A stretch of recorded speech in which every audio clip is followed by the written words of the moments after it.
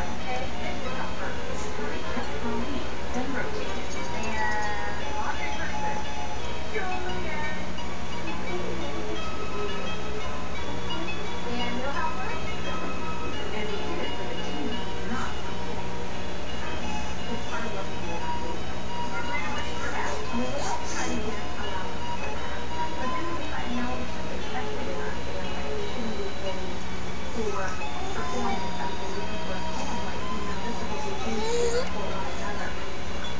But as the kids grew older, the days of innocent doing the chores for no pay were over. That's so cute.